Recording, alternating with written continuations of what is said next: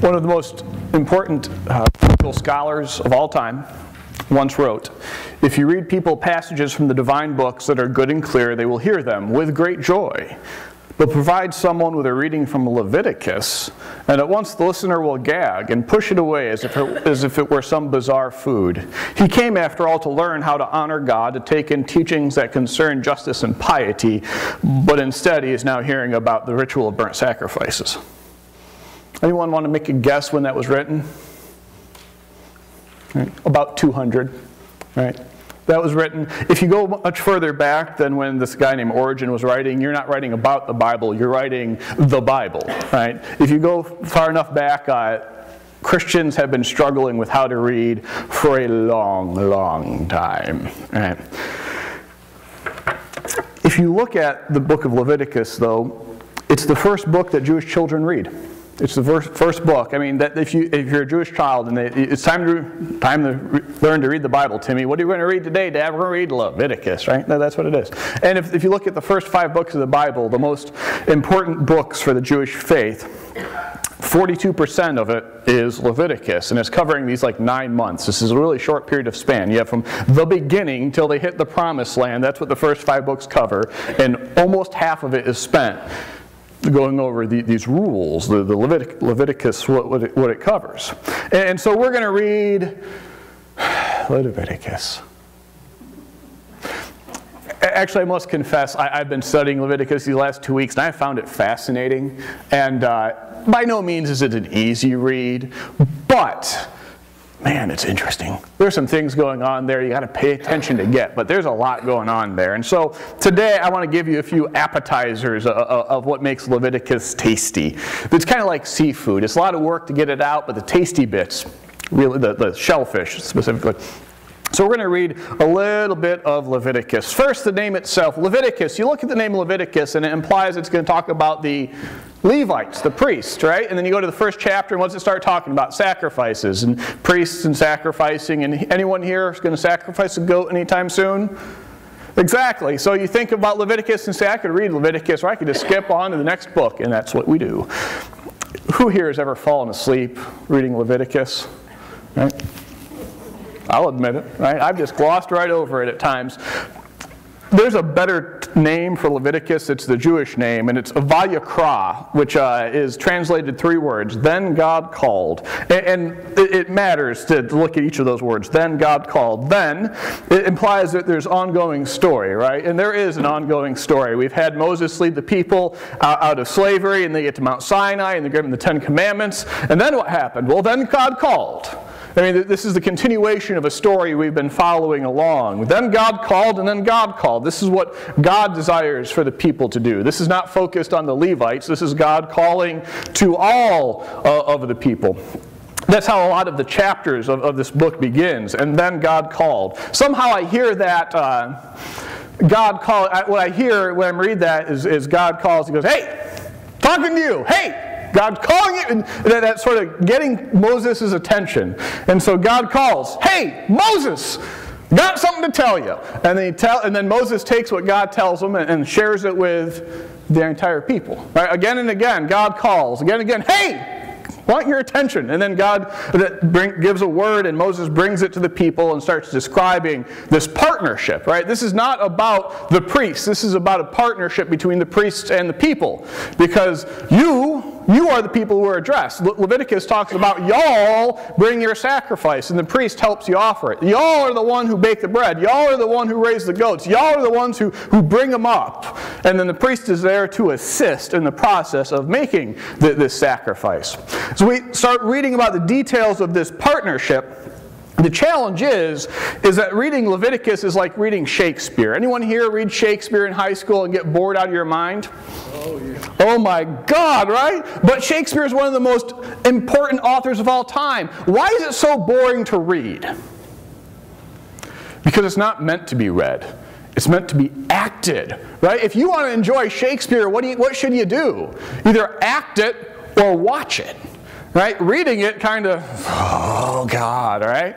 It, it, another way of thinking about this, it's, it's like uh, reading Leviticus is like reading a blueprint. Anyone here ever build a house and you have to look at blueprints? And you're looking at this piece of paper and you're trying to imagine the building?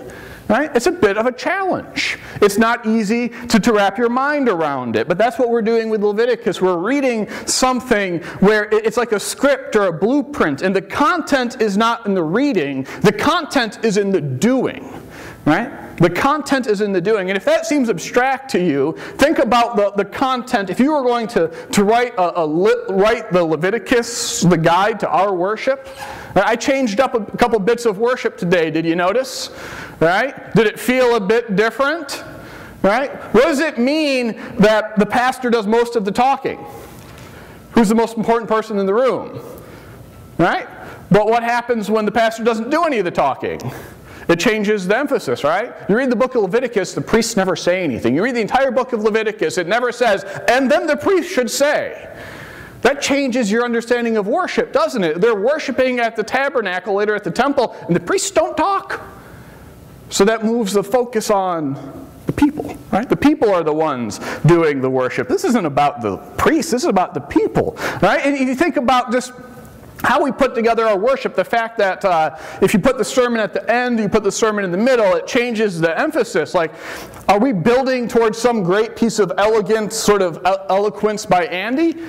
No, the sermon is at the beginning and it prepares you to respond because your response is more important than what I say. Right, I'm up here, i might just be talking. What I say is secondary to what you do next. Right, so, how we put together our worship, that we sit in pews, that we don't sit in a circle, we don't sit in chairs, right? All of these things have a content to them. They matter. Right? I'm not getting up there today because if you put a, a pastor up here, what does that tell you about the role of the pastor? Uh, elevated. If I was going to design my blueprint for my perfect church, I wouldn't be elevated. I'd be down here beneath you. Right? Pastor is the first servant, so the pastor should be lower. Hard to serve if you're elevated, right? And that's what we see the priests. The priests stand on the same level as the rest of the people who are worshiping.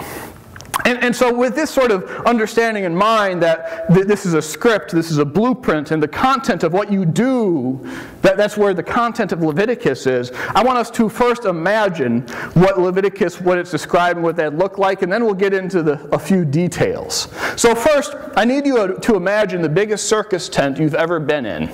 Huge circus tent. And then double it. And then knock the roof off that is what the tabernacle is like. They have this huge open area that's bounded by walls of cloth, purple cloth, and in the center, or actually on, one set, on the center on one side, is the Holy of Holies, a small tent. And in this big, huge area, what do you smell? Let's talk about smell first, because that's the first thing you notice. You walk in the room, you smell. What do you? If there are that many animals being sacrificed, what are you going to smell? Ew. Right? The, all that blood, all that meat, that's, that's going to have a smell to it, isn't it? Right? And then, then when you offer this animal, it is turned to smoke. It says a burn sacrifice. They talk about burning sacrifices in fire. The verb they use there is not burn, it's turned to smoke. Anyone here ever forget a steak? Right? You forget a steak and it goes from medium rare to done to well done. No, this is far past that. We're turning that sucker to smoke, right? What does it smell like when you have forgotten a piece of meat for so long that that sucker is well on its way to just crumbling and falling apart? What's that smell like? Blah. Right? So that's what you're smelling. You have walked into a huge space, a lot of people. People have a smell too when you have that many people together, and you are smelling blood and you are smelling smoke. And, and what are you hearing? Well, no one much is talking. Priests aren't talking, no loud systems, no microphones, anything like that. And so what you're hearing are the animals bleeding, and that's, that's really what you're hearing. And what do you see? Let's say you get there during the middle of the day. There's an order to the, the, the, sacrifices that are made. The first sacrifices that are made are the sacrifices of yippee, right? Thank God. It's the peace offerings, the joy offerings. It's the, man, I had a great harvest offering. You make those offerings at the beginning of the day. And then you take those offerings and you share the meal. You, you, take, you, you take an animal, you, you, you burn some of it, turn smoke, and then you eat the rest with the priests, with the other people who are there. And so the first part of the day They've had a good meal, fresh meat, they had some good time with some friends, they are thankful, they're in a good mood, and they're on their way home now. You're there in the middle of the day. We're transitioning to what happens later. And what happens later is the sacrifices for the, oh man, I, done did it again.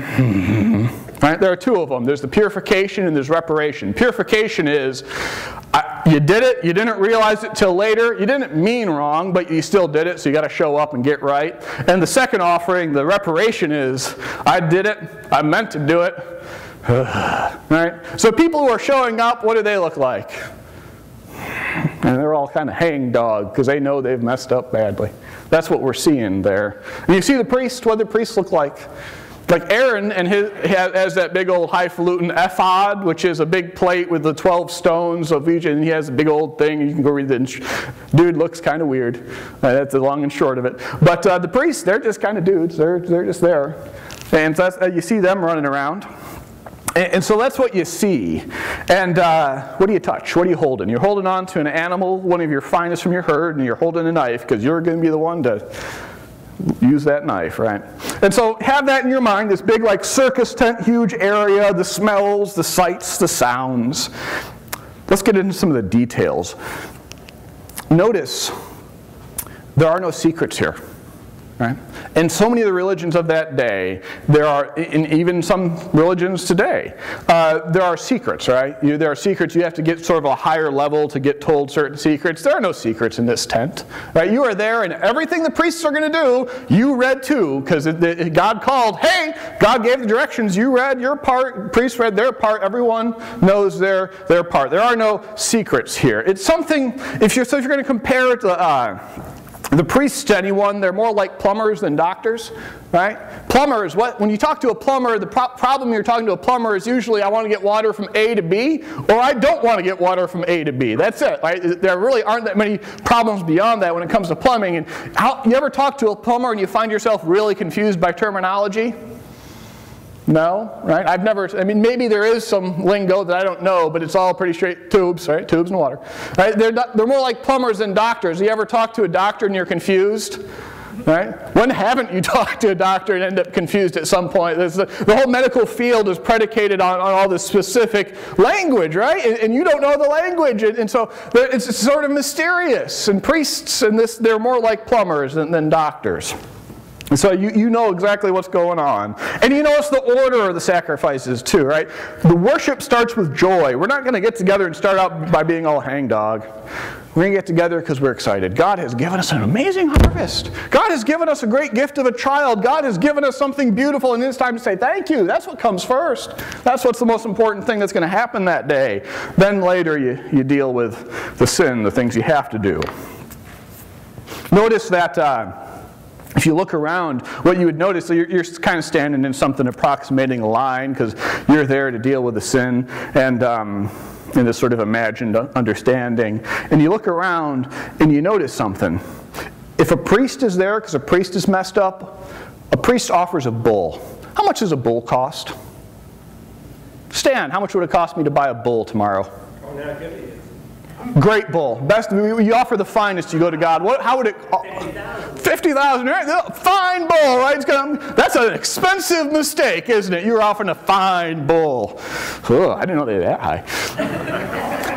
that is an expensive mistake. Because when a priest sins, a priest can lead the whole people astray, right? So a, the, a community sins. The leaders of a, of a community are, are coming to offer, and they have sinned. You know what they offer? They offer a bull.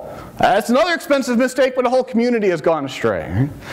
If you sin, if, if, I, if, if you sin, what do you bring? You bring a goat, right? Because a goat, you know, it's not cheap, but it's something of significance, right? You messed up, you forgot Valentine's Day, you bring a goat. You didn't mean to, but you forgot and it's caused big problems, you're bringing a goat. What if the king forgets Valentine's Day and the queen? Ugh, it's bad. What's the king bring? If the king has messed up badly, what does the king bring? A goat. Isn't that interesting? Right? A priest, a priest sins, bull. A people sin, bull. I sin, right? Regular person, goat. King sins, goat. Right? Isn't that an amazing statement about like value? I mean, in a time when kings are claiming to be gods and sons of gods, here is the Hebrew people are saying, you know what, king, if you screw up, that's a shame. Bring a goat just like everyone else. Details. Right? They matter. They matter. It's easy to gloss over those details. You gloss over them because your eyes glaze over. But they start to describe something. There's a content here, right? Worship is first about joy. There are no secrets.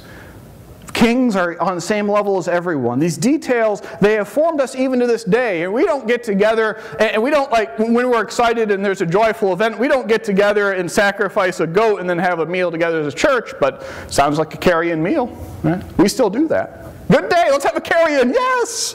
Right? We still do that. We don't give sacrifices according to status. Everyone gets the same plate. Right? No one here gets a special plate for their offering. We still pray, all right? We still pray. We don't pray often using uh, burning things and letting the aroma rise as a sacrifice pleasing to God, but you might later today. I'll tell you more about that later. There's a detail I want us to end with, something that seems helpful to us as we begin this season of Lent, the time when we're preparing for Easter. We, begin, we mark the beginning of Lent by, by marking ourselves with ashes, Ash Wednesday. Palms, the sign of joy, have been turned to ash. We meant well, the crowd meant well, but it just didn't work out. The two offerings to deal with sin, one of them I told you about, you, you, did it, you know you did it, that's the reparation offering. The other one is what we're going to look at, the purification offering. That's the, I did it, I didn't realize I did it, I only realized it later, but then I realized I did it. Right? That's the one we got to focus on you have nothing to confess because you didn't mean to mess it up, but the damage is done. And once you've done it, once you realize it, you got to do something about it. And, and This detail I think is interesting because God is taking seriously that when we mess up, even when we didn't mean to mess up, there's still harm done. We still need to get right. And I believe that happens to us. How many times do you find yourself saying, Well, I meant well? How often do you say that? Well, I tried to do, I tried to do it well, but ugh, that didn't work out so well. Right? It didn't go well. I think that happens to us. I, I know it happens to me. I preached a sermon once that had a great point. I still believe in this point. The point was simple: let people not be perfect. I stand by that point. I gave some examples of how people aren't perfect. I used some examples. I, I got in, uh, at one point I said, you know, people aren't going to use the same language that you might approve of. They might be a little bit more crass in their language. And so I said something crass to make a point. I learned an important lesson there. I don't have to tell you that I said, tell you what I said in the pulpit. I can tell you it was crass. It wasn't. Didn't start swearing. It was just crass, right? And so, but now I learned the important lesson. I don't say something crass. I just tell you, and you fill in the blank, didn't you? Because now you can imagine me saying something crass.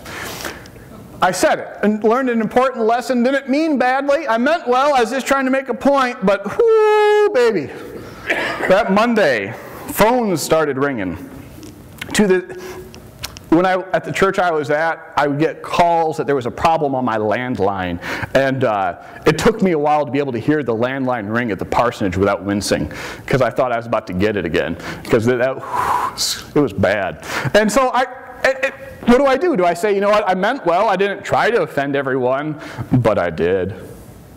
So, so what do you do? You just move on, pretend nothing happened? No, you gotta go and you gotta drink coffee. You gotta talk about it. You gotta listen. You gotta apologize. You gotta understand, right? You gotta make some sacrifices because something went, you didn't mean to mess it up, but you did. You gotta go and try to heal what is broken. And so at the beginning of, of, Lent, I invite you to take on something like that during Lent. During this season of Lent, I invite you to look around at your life and, and, look at the ways in which you mean well. We all mean well, right? We mean well. No one gets up in the morning and says, I really would love to sin. I'd really like to, like to whiff today. But uh, take what you uh, have been thinking you, you mean well and it keeps on going badly, and maybe that's something to work on this, this Lent. I invite you to take what you mean well and write it down. This is what I mean well, I've written down in here. Let me know what's written down in here. I'm not telling any of the other ones of y'all because, frankly, it's embarrassing and it's very personal, and I just, I mean well, and I try to do right, and I, right, just doesn't work. Again and again and again. So write down what you mean well and go outside, take a nice deep breath of that cold air, and burn it. Right? Let it rise to God as a pleasing aroma. Your prayer that during this Lent, you're going to take what you mean well, you're going to try to make it right, you're going to try to, to do well. Heal what is broken, and instead of just meaning well, do well. Let that be our focus in the days between now and Easter, our sacrifice to make right what is broken, to not cause more to more harm, not just to mean well, but to do well. Amen.